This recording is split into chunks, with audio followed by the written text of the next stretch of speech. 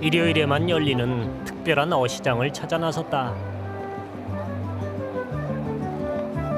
예전 국경 지역이었던 이곳은 일요일에만 국경을 열어 시장을 개방한 곳에서 유래됐다. 이른 아침부터 사람들의 손놀림이 분주하다.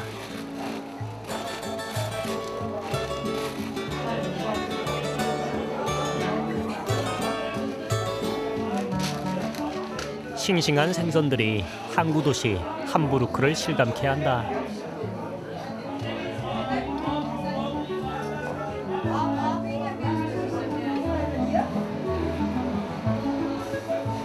(60년째) 이곳에서 장사를 하고 있다는 한 가게 생선 버거를 만드는 곳이다. 싱싱한 생선과 해산물을 고루 섞어 버거를 만든다. 이곳에서 판매되는 생선 버거만도 20여 종. 다양한 맛뿐만 아니라 골라 먹는 재미까지 더한다.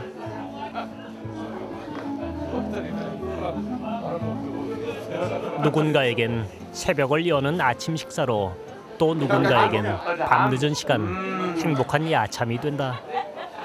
냠냠냠.